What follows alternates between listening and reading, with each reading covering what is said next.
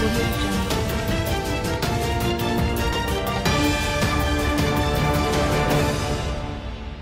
to studio six news. నేను దేవి బులెటిన్లో ముందుగా హెడ్లైన్స్.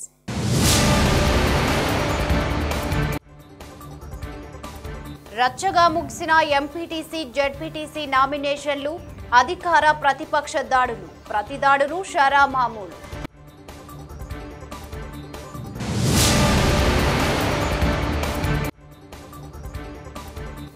హత్య కేసు ఎట్టకేలకు సిబిఐకి. అంతర్రాష్ట్ర ముఠాలున్నాయన్న హైకోర్టు.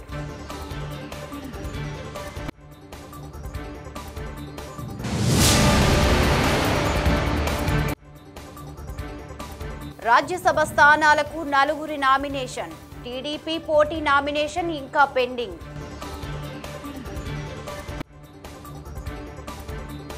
ఏపీలో స్థానిక ఎన్నికల నామినేషన్లతోనే రచ్చ మొదలైంది. అధికార ప్రతిపక్ష నేతల మధ్య పరస్పర దాడులు కొట్లాటలు భీభత్సం షరా మామూలైంది. ఎంపీటీసీ జెడ్పీటీసీ ఎన్నికలకు నామినేషన్ల పర్వం ముగిసింది. కానీ అసలైన గొడవలకు ఇక తెరలేపినట్లయింది. మాచర్లలో టీడీపీ నేతలు బోండా ఉమా బుద్ధా వెంకన్న కార్లపై దాడి చిత్తూరు నెల్లూరు జిల్లాలలో బీజేపీ నేతలపై దాడులు స్థానికంగా వణుకు పుట్టించాయి. వీటిపై డీజీపీ ఎన్నికల కమిషన్ల విచారణ ప్రారంభమైంది. ఈ ఘటనకు నిరసనగా ప్రతిపక్ష నేత డీజీపీ కార్యాలయం ఎదుట బైఠాయించారు. స్థానిక ఎన్నికలు ఆంధ్రప్రదేశ్లో పెద్ద రచ్చగా మారుతున్నాయి. ఎంపీటీసీ నామినేషన్ల ముగింపు సందర్భంగా ఏపీలో చాలా చోట్ల ఘర్షణలు కొట్లాటలు జరిగాయి. వైసీపీ నేతలు ప్రతిపక్ష పార్టీల వారిని నామినేషన్లు దాఖలు చేయనివ్వలేదని ఆరోపణలు వెల్లువెత్తాయి. మరోపక్క మాచర్లలో బొండా ఉమ బుద్ధ వెంకన్నలపై దాడి ఘటన ఉద్రిక్తతకు దారితీసింది. మాచర్ల దాడి ఘటనపై ఏపీ డీజీపీకి ఎన్నికల సంఘానికి చంద్రబాబు లేఖ రాశారు. స్వయంగా డీజీపీకి ఫిర్యాదు చేసేందుకు చంద్రబాబు వెళ్ళగా గేటు వద్ద అడ్డుకున్నారు దీనితో ఆయన రోడ్డుపై బైఠాయించారు. బొండా ఉమ బుద్ధ వెంకన్నలపై దాడి చేసిన నిందితుడు జగన్తో కలిసి ఉన్న ఫోటోలను టీడీపీ విడుదల చేసింది. అయితే ఈ దాడి ఘటనలో ముగ్గురు నిందితులను అరెస్ట్ చేసినట్లు Guntur range IG J Prabhakar Rao తెలిపారు. మాచర్లలో జరిగిన సంఘటనపై ఆంధ్రప్రదేశ్ డీజీపీ గౌతమ్ సవాంగ్ సత్వరం స్పందించారు. ఇందుకు సంబంధించి పూర్తి స్థాయి నివేదిక సమర్పించాలని గుంటూరు ఐజీని ఆయన ఆదేశించారు. దాడికి పాల్పడిన తురక కిషోర్ మల్లెల గోపి బత్తుల నాగరాజులపై హత్యాయత్నం కేసు నమోదు చేశామని పోలీసులు తెలిపారు. కాగా మాచర్ల ఘటనలో ఎవరు దాడి చేశారో తెలియదు లేదని పెదకూరపాడు ఎమ్మెల్యే నంబూరు శంకర్రావు అన్నారు. ఎవరు ఎవరిపై దాడి చేశారో విచారణలో తెలుస్తుంది అన్నారు.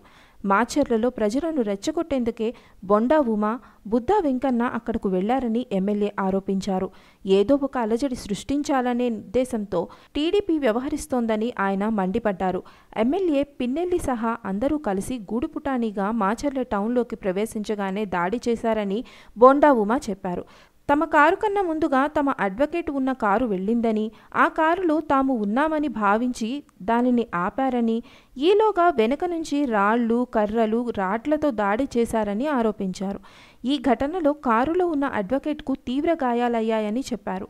అయితే కాల్మని నిందితులకు పల్నాడులో పన్నెంటని ఎమ్మెల్యే పిన్నెల్లి కౌంటర్ ఇచ్చారు. విజయవాడ నుంచి పది కార్లలో బొండ బుద్ధా వెంకన్న మరికొందరు గూండాలను చంద్రబాబు పంపించారని ఆరోపించారు. మాచర్లలో దూసుకొచ్చిన టీడీపీ వాహనాల్లో ఒకటి ఒక పిల్లాడికి తగిలిందని దీంతో స్థానికులు కోపోద్రిక్తులయ్యారని చెప్పుకొచ్చారు. మరోపక్క బీజేపీ నేతలు కూడా రాష్ట్రంలో అరాచకం నెలకొందని రాష్ట్ర ఎన్నికల కమిషనర్ నిమ్మగడ్డ రమేష్ కుమార్ను కలిసి ఫిర్యాదు చేశారు. చిత్తూరు జిల్లా పుంగనూరు నియోజకవర్గం సదుం మండలంలో బీజేపీ అభ్యర్థులను నామినేషన్లు వేయకుండా వైకాపా నేతలు భయభ్రాంతులకు గురిచేశారని ఫిర్యాదు చేశారు. నెల్లూరు జిల్లా వెంకటాచలం మండలం నిడుగుంటపాలెంలో నలుగురు బీజేపీ నేతలపై వైసీపీ శ్రేణులు దాడి చేశాయని ఆరోపించారు. దాడికి సంబంధించిన వీడియో సాక్ష్యాలను ఈసీకి బీజేపీ నేత వి. జయప్రకాష్ నారాయణ సమర్పించారు. మాజీ మంత్రి వైఎస్ వివేకానందరెడ్డి హత్య కేసుపై ఏపీ హైకోర్టు కీలక నిర్ణయం తీసుకుంది. హత్య కేసును కేంద్ర దర్యాప్తు సంస్థ సిబిఐకి అప్పగిస్తూ ఆదేశాలు జారీ చేసింది. హత్య జరిగి ఏడాది కావస్తున్నా కేసు దర్యాప్తులో పురోగతి లేదని ఉన్నత న్యాయస్థానం అసంతృప్తి వ్యక్తం చేసింది. కేసు దర్యాప్తులో సమయం కీలకం కాబట్టి సిబిఐకి అప్పగించినట్లు స్పష్టం చేసింది. ఈ కేసులో అంతర్రాష్ట్ర నిందితులు ఉండే అవకాశం ఉందని ఇతర రాష్ట్రాల నిందితులను పట్టుకునే శక్తి సామర్థ్యాలు సిబిఐకి ఉన్నాయని న్యాయమూర్తి అభిప్రాయపడ్డారు. దీంతో వివేక హత్య కేసు సిబిఐకి చేరినట్లయింది. మాజీ మంత్రి వైఎస్ వివేకానంద హత్య కేసును పులివెందుల పిఎస్ నుంచి సీబీఐ దర్యాప్తు ప్రారంభించాలని ఉన్నత న్యాయస్థానం ఆదేశించింది. సీఎం జగన్ పిటిషన్ ఉపసంహరణ ప్రభావం కేసుపై ఉండకూడదని సూచించింది. సాధ్యమైనంత త్వరగా కేసు విచారణ పూర్తి చేయాలని సీబీఐని హైకోర్టు ఆదేశించింది. రెండు వేల పంతొమ్మిది మార్చి పదిహేనున వైఎస్ వివేకానందరెడ్డి దారుణ హత్యకు గురయ్యారు. హత్య కేసు ఛేదించేందుకు ప్రభుత్వం మూడుసార్లు సిట్ వేసింది. అయితే పదకొండు నెలలు గడుస్తున్నా హత్య కేసు తేలలేదు. ఇప్పటి వరకు సుమారు పదమూడు వందల మంది అనుమానితులను సిట్ అధికారులు విచారించారు. ముగ్గురు అనుమానితులకు నార్కో అనాలసిస్ పరీక్షలు నిర్వహించారు. ఘటనా స్థలంలో సాక్ష్యాలు తారుమారు చేశారన్న అభియోగంతో ముగ్గురు నిందితులను అరెస్ట్ చేశారు. అయితే అసలు హంతకులు ఎవరనేది సిట్ అధికారులు ఇంతవరకు తేల్చలేకపోయారు. ఈ నేపథ్యంలో హత్య కేసుపై వివేకా సతీమణి సౌభాగ్యమ్మ కుమార్తె సునీత హైకోర్టులో పిటిషన్ దాఖలు చేశారు. పిటిషన్లో పదిహేను మంది అనుమానితుల పేర్లను పేర్కొన్నారు. కేసును సీబీఐకు అప్పగించాలని కోరారు. దీనిపై పలుమార్లు విచారణ జరిపిన ఉన్నత న్యాయస్థానం తాజాగా సీబీఐకి అప్పగిస్తూ ఆదేశాలు జారీ చేసింది. దీనితో సీబీఐ ఖాతాలోకి వివేక హత్య కేసు వెళ్ళిపోయింది. దీని ప్రభావం జగన్ ప్రభుత్వంపై ఎలా ఉంటుందనేది వేచి చూడాలి. ఆంధ్రప్రదేశ్లో ఖాళీ అయిన నాలుగు రాజ్యసభ స్థానాల భర్తీ కోసం ఎన్నికల కమిషన్ నోటిఫికేషన్ విడుదల చేసింది. ఈ నేపథ్యంలో రాష్ట్ర శాసన మండలి ఇన్ఛార్జ్ కార్యదర్శి బాలకృష్ణమాచార్యులకు నలుగురు అభ్యర్థులు తమ నామినేషన్ పత్రాలను సమర్పించారు. వైఎస్ఆర్ కాంగ్రెస్ పార్టీకి చెందిన పిల్లి సుభాష్ చంద్రబోస్ ఆళ్ళ అయోధ్య రామిరెడ్డి మోపిదేవి వెంకటరమణారావులు వరుసగా నామినేషన్ పత్రాలను అందజేశారు. రిలయన్స్ ప్రతినిధి పరమల్ నత్వాని కూడా తమ నామినేషన్ దాఖలు చేశారు. ఆంధ్రప్రదేశ్లో ఖాళీ అయిన నాలుగు రాజ్యసభ స్థానాలకు వైఎస్ఆర్ కాంగ్రెస్ పార్టీకి చెందిన పిల్లి సుభాష్ చంద్రబోస్ ఆళ్ళ అయోధ్య రామిరెడ్డి మోపిదేవి వెంకటరమణారావు పరిమళ్ నత్వానీలు వరుసగా నామినేషన్ పత్రాలను అందజేశారు.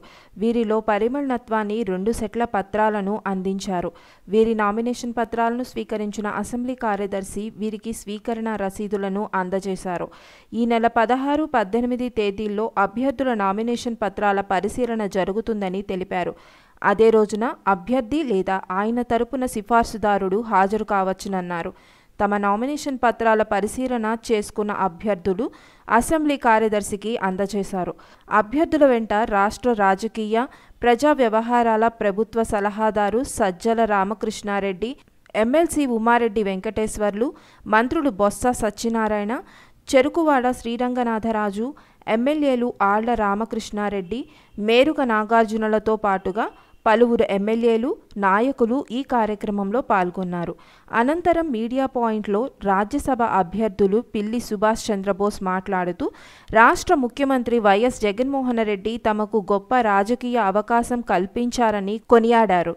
అవకాశవాద రాజకీయాలు నడుస్తున్న ఈ రోజుల్లో బీసీ వర్గాల తరపున అవకాశం కల్పించడం హర్షణీయమన్నారు. రాష్ట్ర ప్రయోజనాలను దృష్టిలో పెట్టుకొని ముఖ్యమంత్రి వైఎస్ జగన్మోహన్ రెడ్డి సాహసోపేతమైన నిర్ణయం తీసుకున్నారని రాజ్యసభ వైకాపా అభ్యర్థి మోపిదేవి వెంకటరమణారావు అన్నారు. రాజ్యసభ అభ్యర్థిగా తనకు అవకాశం ఇచ్చినందుకు సీఎం జగన్మోహన్ రెడ్డికి పరిమళ్ నత్వాని కృతజ్ఞతలు తెలిపారు. గతంలో గుజరాత్ జార్ఖండ్ రాష్ట్రాల్లో పారిశ్రామికీకరణకు తోడ్పడిన తాను ఆంధ్రప్రదేశ్ రాష్ట్రంలో పారిశ్రామికీకరణకు తోడ్పడతానన్నారు. రాజ్యసభ అభ్యర్థుల ఎంపిక వైఎస్ జగన్ దేశానికే ఆదర్శనీయమని పొగిడారు. ముఖ్యమంత్రి వైఎస్ జగన్మోహన్ రెడ్డి విజనున్న నేతని రాజ్యసభ అభ్యర్థి ఆళ్ళ అయోధ్య రామిరెడ్డి అన్నారు. వ్యవసాయ కుటుంబం నుంచి పారిశ్రామికవేత్తగా ఎదిగిన తనను పెద్దల సభకు ఎంపిక చేయటం సంతోషంగా ఉందని ఇది తన అదృష్టంగా భావిస్తున్నానన్నారు.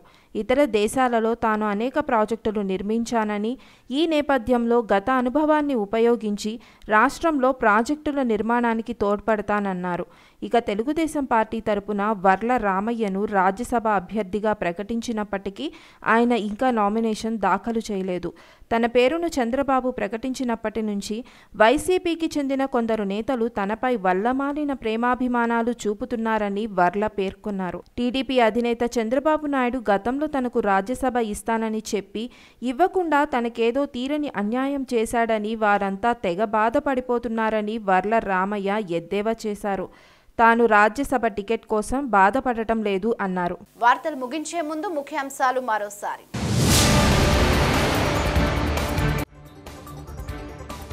రచ్చగా ముగిసిన ఎంపీటీసీ జెడ్పీటీసీ నామినేషన్లు అధికార ప్రతిపక్ష దాడులు. ప్రతి దాడులు షరా మామూలు.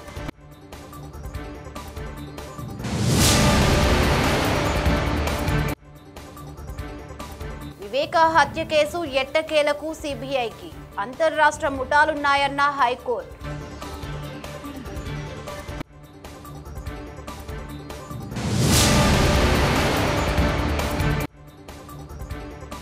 రాజ్యసభ స్థానాలకు నలుగురి నామినేషన్. టీడీపీ పోటీ నామినేషన్ ఇంకా pending.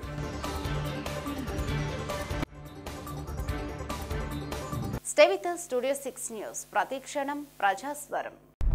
News latest updates current affairs entertainment viral videos విషయం ఏదైనా సరే తెలుసుకోవాలనుకుంటున్నారా?